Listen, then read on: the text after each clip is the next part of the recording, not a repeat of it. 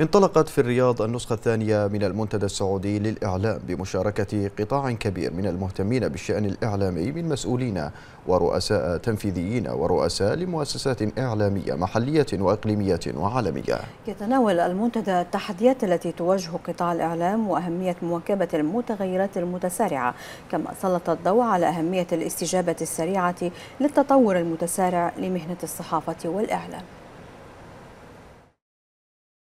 في مرحلة تشهد فيها الصناعة الإعلامية تطورا متسارعا انطلقت أعمال النسخة الثانية للمنتدى السعودي للإعلام ليفتح آفاقا جديدة تتعلق بتحديات الإعلام والمحتوى ومهنة الصحافة وذلك بمشاركة نخبة من الخبراء والمختصين من دول العالم.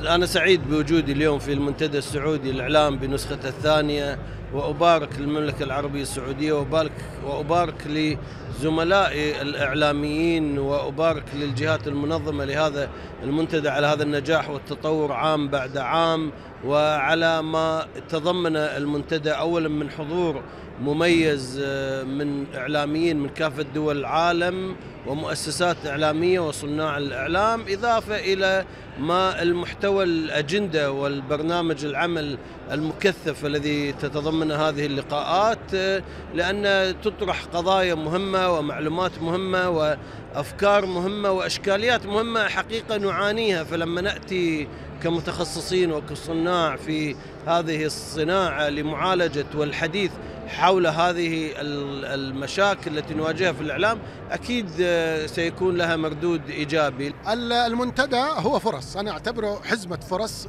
لمن أراد أن يبحث عن الحقيقة. زي ما قلنا دائما أنه الإعلام الجديد كلام الكلام فيه كثير. أتينا للمنتدى هذا من أجل أن تتلاقح الآراء. أيضا مهمني في المنتدى هو جمع الشمل. إني أشوف أحبتي في البحرين إني أشوف أحبتي في الكويت إني أشوف الأخ اللي من زمان ما شفته أشوف مغرد صاعد أشوف كاتب تقليدي قديم. هذا كله هو ثمرة المنتدى. هذا المنتدى يقدم فرصة ومنصة للإعلاميين لتزاوج الأفكار ونقل المعرفة وتبادل الخبرات وذلك بهدف مواكبة المتغيرات التي تطرأ باستمرار على البيئة الإعلامية. سعيدين جدا برؤية أخواننا الإعلاميين والصحفيين الاطلاع على أبرز وأحدث ما يدور في عالم الصحافة مناقشة الهموم إيجاد حلول يعني لتطوير المهنة لنقلها إلى المستوى الأعلى وإلى مستوى أكثر تطورا وتقدما مواكبا لتطلعات القراء وتطلعات المشاهدين.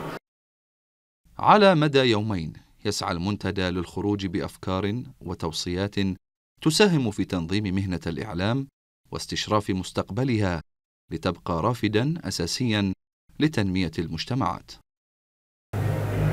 الصناعة الإعلامية صناعة لا حد لتطورها، فهي تتجدد في كل يوم فكريا وتقنيا. لكن هناك تحديات كما أن هناك طموحات لدى مختلف وسائل الإعلام. وهذا ما يناقشه المنتدى السعودي للإعلام في نسخته الثانية. بسام البدوي لمركز الأخبار تلفزيون البحرين الرياض.